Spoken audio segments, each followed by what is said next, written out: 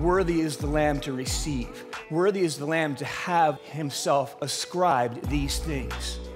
First, power. Worthy is the Lamb to receive power. You have the power of my life. You have the power of the church. You have the power of the world. You have the power of the universe. It's all ascribed to you. Worthy is the Lamb to receive riches. You have all my silver. You have all my gold. You have all that I am. You have all that I have and all I ever will be. Worthy is the Lamb to receive wisdom. You have the infinite insight of the finest intellectual understanding of all things seen and unseen in the universe. Worthy is the Lamb to receive strength. You have the strength to take time time and matter and space and energy and history and the human soul and restore it all to its right relationship with your Father.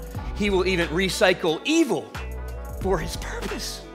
Worthy is the Lamb. Worthy is the Lamb to receive honor. You are the lamb that's worthy to be respected and acknowledged to the highest degree with my own heart and my own soul and my own mind and strength to the obedience of whatsoever the lion lamb Lord requires. You're the lamb worthy to receive my entire life. You're the lamb worthy to receive glory, the glory of my entire devotion, declaring with my life your goodness and your greatness and your wisdom and your power and your love and your justice. Worthy is the lamb to receive blessing. You have every everything within me, giving praise to you and for you and through you for all things.